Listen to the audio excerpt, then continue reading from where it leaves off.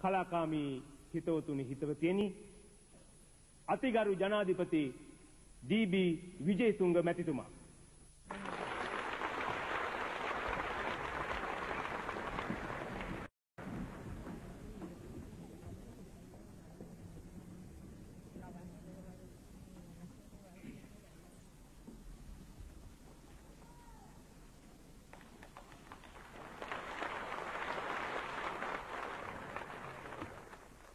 ඉතාදර නැති ඇමතිවරුනි චිත්‍රපට සංස්ථාවේ කල් සභාපතිතුමනි මිත්‍රවරුනි සහෝදර සහෝදරීනි.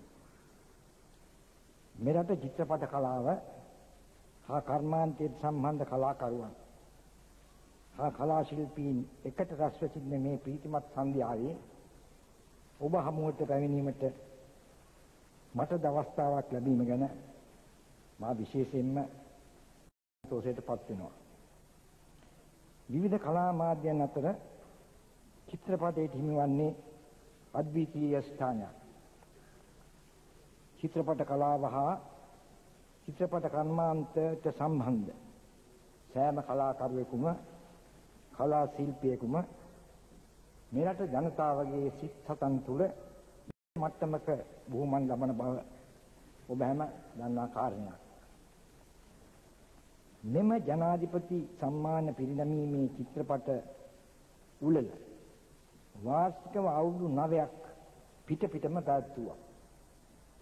අභාග්‍ය සම්පන්න සිදුවීම් හා අහිතකර වාතාවරණ කොටගෙන 1987 වර්ෂයෙන් පසු මෙම සම්මාන උළෙල පැවැත්වීමට නොහැකි වූ තත්ත්වයක් උද්ගත වුණා.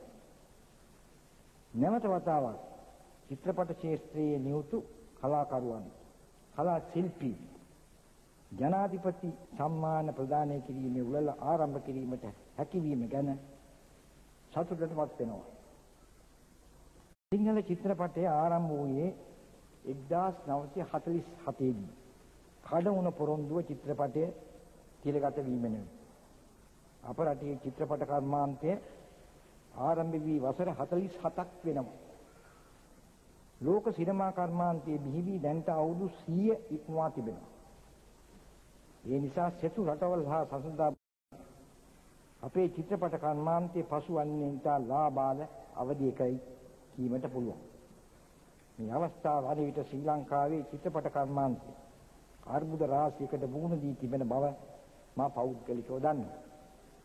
ඒ අතුරින් ප්‍රධාන තැනක් ගන්නේ චිත්‍රපට සඳහා නිෂ්පාදන වියදම් අධික වීම හා සිය චිත්‍රපට සඳහා ලැබෙන ආදායම අඩු වී යාම.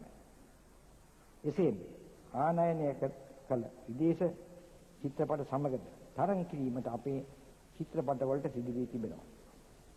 එමෙන්න දේශීය චිත්‍රපට ප්‍රදර්ශනයට ඇති සිනමා හල් සංඛ්‍යාව ප්‍රමාණවත් නොවී රූපවාහිනී සේවා වීඩියෝ ක්ලබ් ආදී සිනමා ශාලා වෙත පැමිණ ප්‍රේක්ෂකයන්ගේ සංඛ්‍යාව අඩු වීම එමෙන්න දල ශ්‍රේයාපට සඳහා අධික මිලක් ගෙවීමට සිදුවීම තවත් බලවත් ප්‍රශ්නයක් බවද පේන්න තිබෙනවා.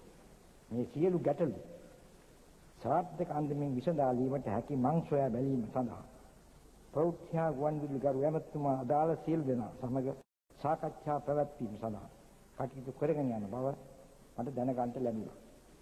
ඉන් පසුව මේ කරුණු සම්බන්ධයෙන් අවශ්‍ය පියවර ගැනීමට හැකි වේයයි බලාපොරොත්තු වෙනවා.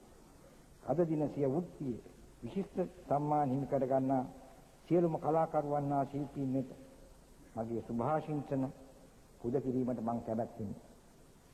වර්ෂවලදී ව්‍යාකූලත්වයෙන් තොර වෘත්තීයමය තත්වයක් යටතේ කටයුතු කිරීමට ලැබී වඩා උසස් තත්වයේ ජාතික සිනමාවක් බිහි කිරීමේ වාසනාව ඔබ හැමදාම අපේ වායි ප්‍රාර්ථනා කරමින් මම නවතිනවා බොහොම ස්තුතියි.